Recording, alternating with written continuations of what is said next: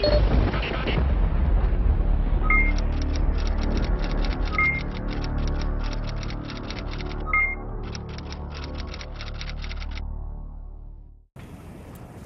calculerai bien mes chances de survie sans munitions, mais ça risque d'être déprimant.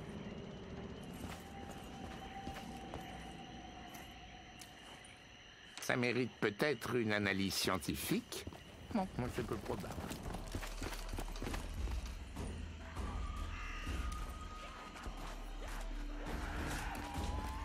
Rien n'est insignifiant, même ce qui n'a pas d'importance. Je t'avais prévenu On ne me touche pas